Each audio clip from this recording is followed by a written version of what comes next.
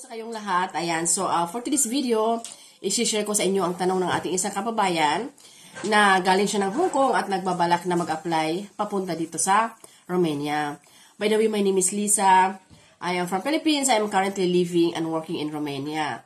So, ganito ang ano ko ngayon guys. Attire kasi medyo, uh, I'm not feeling well. Pag winter talaga, talagang araw-araw, lagi akong not feeling well na parang lagi akong sinisipon. Ayan.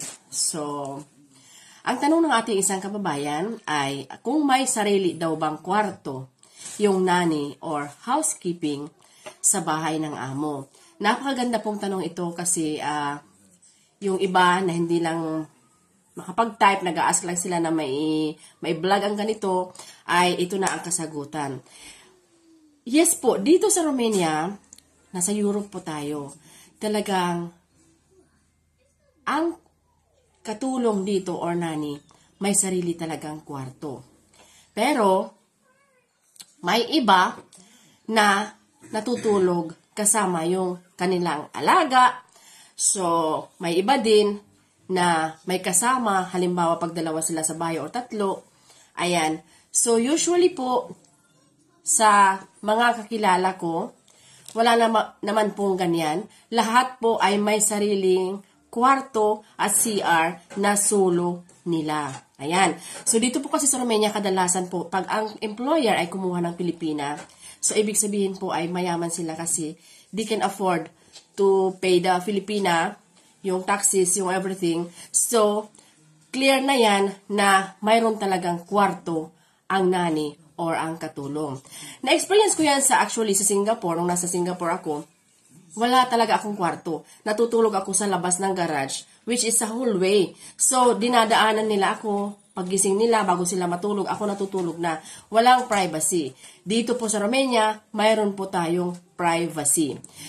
May nakausap na ako na niya isang Pilipina. Ang sabi niya, ang natutulog daw siya. Isa lang ha, isa lang. Sa dami ng Pilipina dito, isa lang ako na uh, may nakausap ako niyan natutulog daw siya sa sofa, sa couch ng kanilang amo. So, wala siyang kwarto kasi nasa apartment lang daw.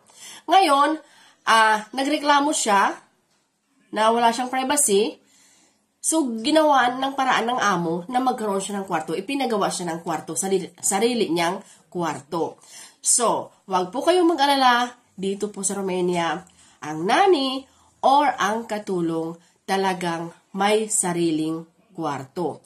Kung wala po kayong sariling kwarto, magreklamo po kayo kasi bawal yan dito na wala kang sariling kwarto.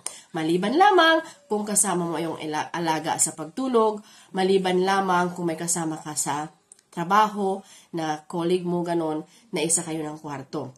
Pero usually po, mayroon pong sariling kwarto yung katulong or nani dito sa Romania.